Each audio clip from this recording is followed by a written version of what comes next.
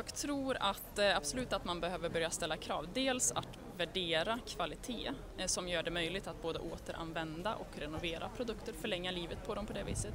Och att det också ställs krav och värderas i upphandling, offentlig upphandling till exempel. På Kinnarp så satsar vi bland annat på kvalitet, dels att designa produkter för att de ska hålla länge, eh, helt enkelt som gör det möjligt att återanvända och renovera.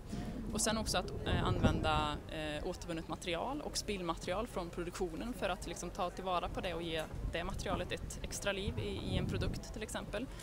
Eh, och inte minst textilspillet från våra eh, fabriker i, i, Sverige som vi använder till eh Eh, nya, och göra nya produkter.